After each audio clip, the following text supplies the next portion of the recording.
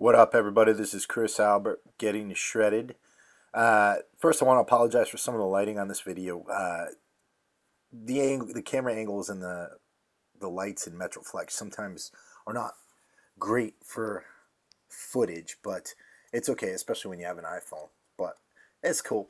Starting off this shoulder workout with some standing dumbbell presses. And I actually prefer to do standing dumbbell presses and standing barbell presses than seated presses for a couple of reasons.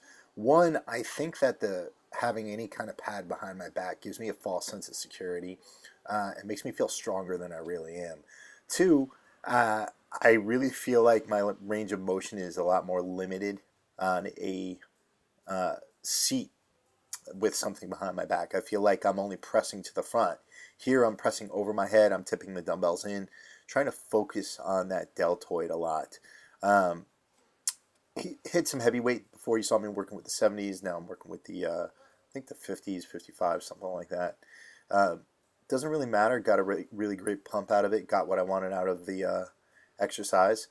Moving on, I wanted to focus a lot on the rear delts today. So I made bent over rear deltoid flies my second exercise.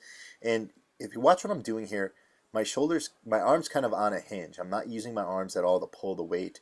I'm basically trying to just use my shoulders. Um, just use those rear deltoids there. And a lot of people neglect their rear del deltoids. And one of the reasons why I move them closer to the beginning of the workout is because I used to train my rear deltoids like a fucking pussy. And because I thought nobody can see them anyways. So uh, what I did was uh, I actually started getting injuries to my shoulder and getting lots of pain there. And you can't ever work your rear deltoids too much because you do so much pressing with the front that you need to compensate. Now here I finished this off with a stricter set and I'm going to be using iso tension after the 10th repetition. And what you see is my buddy Austin, Austin Caraway, he I think he's a physique competitor. He trains at Metroflex, really great guy, pushing my arms forward while I'm fighting it. This tore my rear deltoids up. Very painful, really, really good. Uh, liked it a lot. Definitely try it. Let me know what you think. Um, really trying to be strict on this movement, trying not to use any leverage or anything like that, not standing up. Uh, not really caring about the weight. I've seen people do this with uh, people standing on the stack. And um, if I try to do this too fast, I just don't feel anything. Another example of iso tension here, I'm doing rear deltoid, or not rear deltoid raises, side lateral raises with iso tension at the top. Really trying to hold them up, trying to hold those weights there and fight. Fight them as they're coming down, not using a lot of weight, going very strict. This is very different from the workout I posted a couple of, probably last week where I had shitloads of volume on the uh, side lateral raises. I really like to change things up. I use a lot of the same movements, but I do different rep schemes, different tempos. Um, you know, trying to hit all types of different muscle fibers. Uh, my shoulders really respond well to this type of training, uh, and as you can see, they're probably, I think they're my only really good body part, to tell you the truth. But uh, I really, really enjoy training my shoulders, and um, really trying. It's always been my dream to have round ass delts.